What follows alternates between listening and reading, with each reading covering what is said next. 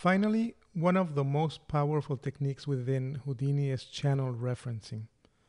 Channel referencing lets you use the value of one object's channel within another uh, parameter of another object or even another parameter of the same object.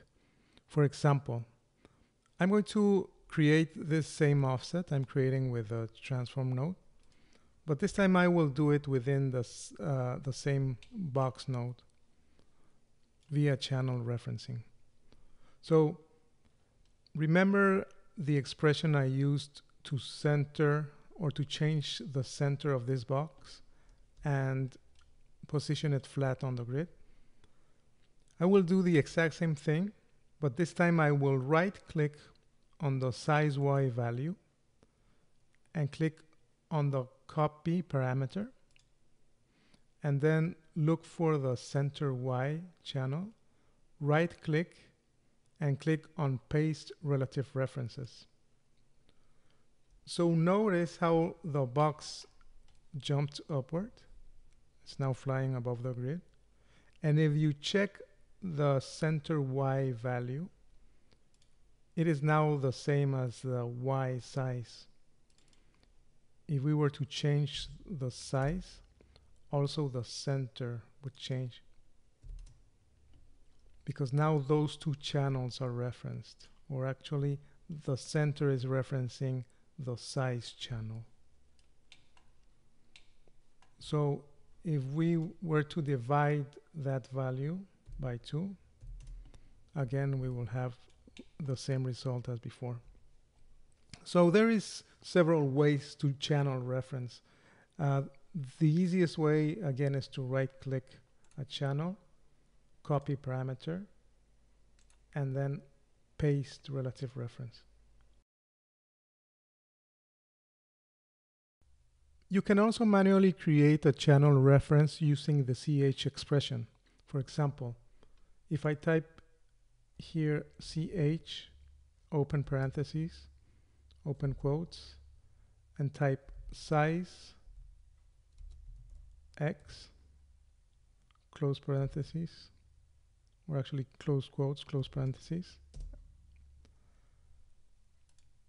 Now I have the same value as a size X.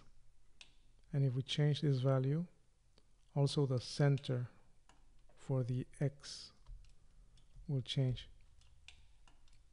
So the way to know the names of these channels is to hover the mouse on top of the parameter you want to change. For example, if you put your mouse on top of the size parameter, you will have the text showing the name of that channel.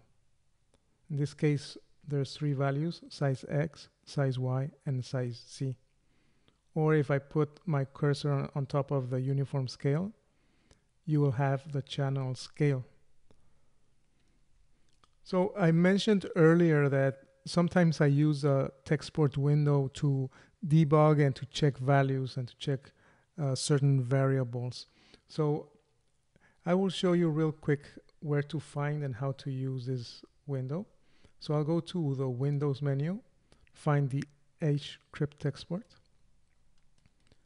And here I will show you a very useful way to locate uh, channel names. For example, I will double click on the uniform scale value and drag it into the textport window. So here we know, or here we can see that this channel is in the object context within my Houdini file. It's in a node called box object one. And inside this node, we have a box one node, which is this one here. And then there's a channel. In this case, uh, in this case, it's named scale. For example, let's let's try with the axis division. I'll double click on this value and drag it into the textport window. And here we have the name of that channel.